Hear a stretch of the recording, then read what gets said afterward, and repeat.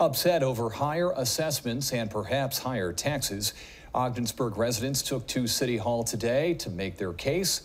Grievance Day today. Here's 7 News reporter Zach Grady.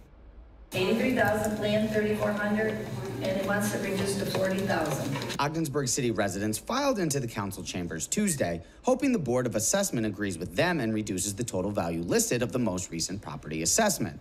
Some residents at City Hall claim their assessments rose from 50 to 80 percent. I have not made any improvements to my home, and yet I had an increase of $40,000 for taxation. Both appointments and walk-ins were welcome for the three scheduled grievance sessions. 19 residents were heard in the first two-hour session, taking some time as many had multiple properties. Walk in, get your name on a list. The time frame is two-hour time frames to get all the people through the list. Uh, they haven't been able to do that from the 10 to noon list.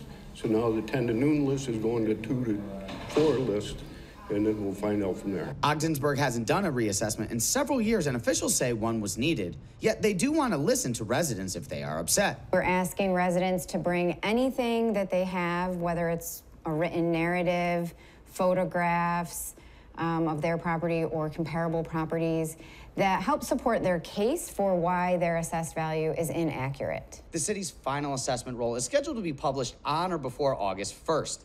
The Board of Assessors will make any determination on cases heard before that date. Zach Grady, 7 News.